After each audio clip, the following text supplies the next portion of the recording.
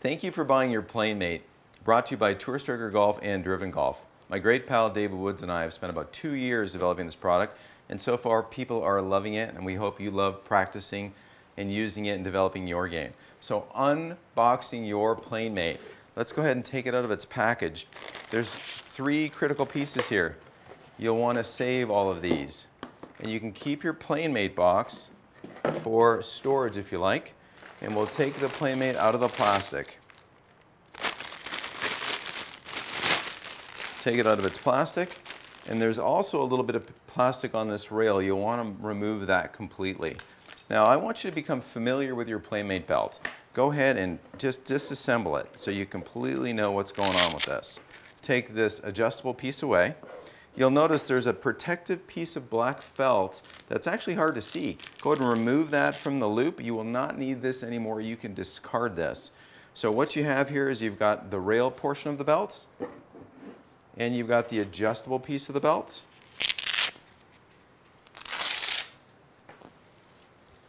We'll set this aside for a moment. And you've got your fitness bands. It comes with three fitness bands. Let's pull these out of the boxes, set these aside. We've got the fitness band itself. We've got the short game pitch motion band and then the full swing band. Let's set those down. And then in this tiny little box, we've got your club connector. So here we go. We've got the pieces of the PlaneMate. Let's become familiar with your belt. There's a three inch piece of hook material that you can fold all the way down to the loop material to make the belt a little smaller for thinner waisted people, or you can put it at its maximum size if you're a little bit larger person. So what we're going to do now is we're going to take this and we're going to, you can see we have two D-rings. We've got the rail under my left hand, one D-ring under my right hand. Take this loop material, loop it through the D-ring and fold it upon itself. Give it a bit of a squeeze and you are ready to put on your PlaneMate. What you want to do when you wear your PlaneMate, wrap it around your waist, and you'll want to wear it right on top of your belt. So you can see the D-ring I'm holding in my hand, loop the PlaneMate belt through it, and you can, I'm organizing it such that this D-ring is right on top of my belt buckle.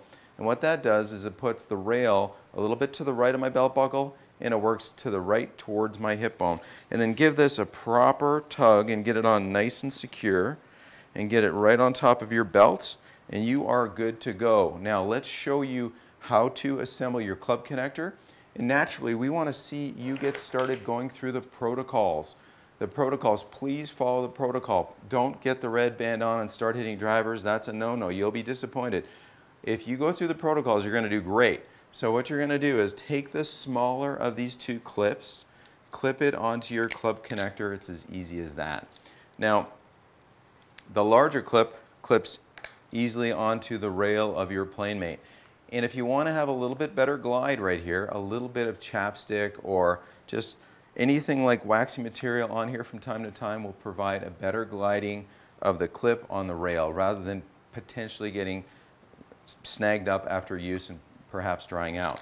So now what we're going to do here is we're going to unscrew this a little bit. You've got two channels on your club connector. We're going to use the thicker of the two channels.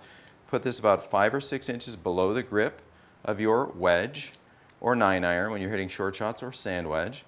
Give it a good turn, tighten it right down, and you can see that it is immediately to the right and perpendicular to the sweet spot. So it's to the right and perpendicular, and from there you are ready to start your short game pitch shot protocols, understanding how to use your PlaneMate. Now, once you go through the protocols, you'll go ahead and use the full swing motion bands.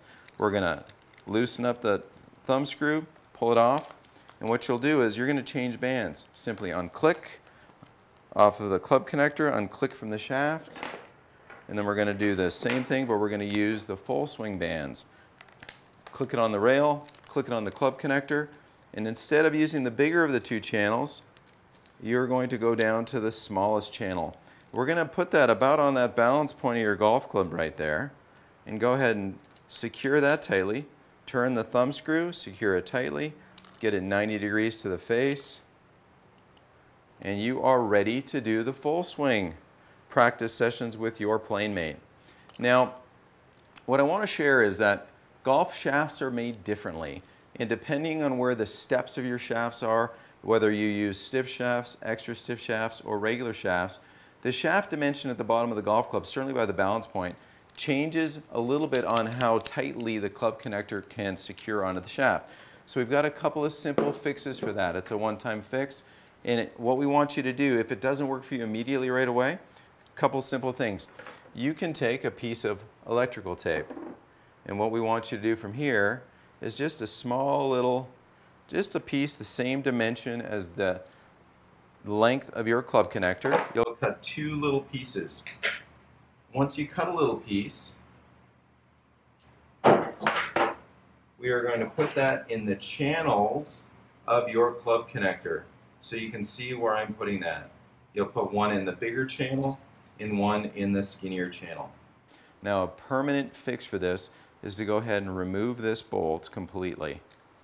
Just go ahead and unscrew the bolt completely, set the bolt aside, pull out this, carefully pull out the screw, and you'll notice that there is also a little spring in there. What you're going to want to do here is get a little sandpaper and you're basically going to take this and brush down, simply brush down a millimeter or two, no more, of this tiny plastic piece that's between your club connector.